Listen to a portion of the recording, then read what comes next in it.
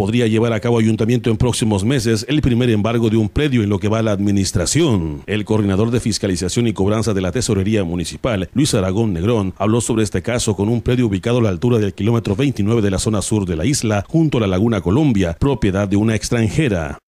Como fue publicado en el edicto, Francesca Mabarak Giunta. ¿Sí? Entonces esta persona, al, al hacernos los informes, las diversas autoridades con las que colaboramos, no le apareció un domicilio en el territorio municipal. Por eso se procede, conforme lo marca el Código Fiscal, a notificarle por edictos. Este procedimiento está en la etapa de liquidación. ¿Qué quiere decir eso? Se realizan trámites administrativos para llegar a una resolución donde se le haga saber a esta persona exactamente cuánto debe con sus recargos y actualizaciones.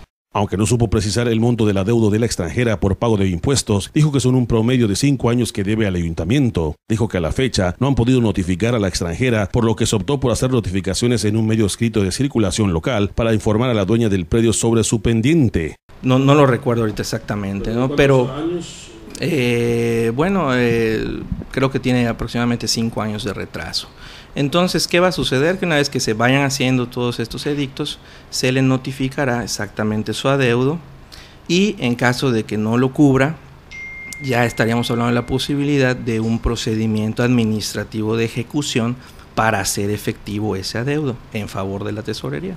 Asimismo, Aragón Negrón dijo que será en promedio de dos meses que sigue el procedimiento con este predio, en el que de haber una respuesta nula por parte de la propietaria, el terreno será embargado por el ayuntamiento para luego ser subastado, proceso que dijo será público y transparente. Pues mira, la verdad no, no recuerdo exactamente la, cantidad, podría ser dependiendo cuánto sea su, su monto anual, ¿no? Sin embargo, sí ha habido la total disposición de nuestro tesorero municipal, el contador Antonio Baduy, y, con los lineamientos de nuestro presidente municipal, señor Freddy Marrufo, de solucionar este tipo de adeudos y por lo tanto si la persona se presentara con la voluntad de hacer su pago, eh, habría la posibilidad, no, no se está negado a que exista un convenio. Sí, bueno, estamos hablando como de un lapso aproximadamente unos tres meses eh, del proceso de la liquidación y posteriormente el procedimiento administrativo de ejecución.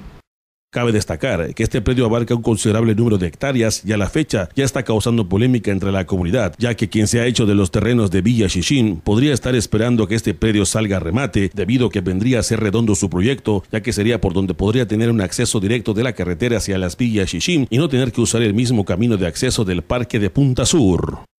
Pues sí tiene, eh, digo, sí es de hectáreas, no la recuerdo exactamente, eh, pues es una información que nosotros en realidad no manejamos. Nosotros manejamos la cuestión del adeudo. Sí, posteriormente a un embargo, eh, si no hay un pago a pesar del embargo, se saca remate el predio. El remate es en subasta pública y cualquier persona puede participar. Bueno, el remate se hace por un avalúo conforme a la ley, ¿sí?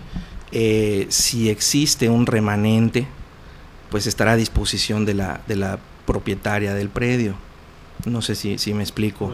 Nosotros lo que hacemos efectivo, pues para nosotros es definitivamente el impuesto omitido con sus recargos, actualizaciones, multas. Sí, totalmente. De hecho, el remate se publica, se convoca públicamente un remate. No, no es una cuestión que se maneje internamente.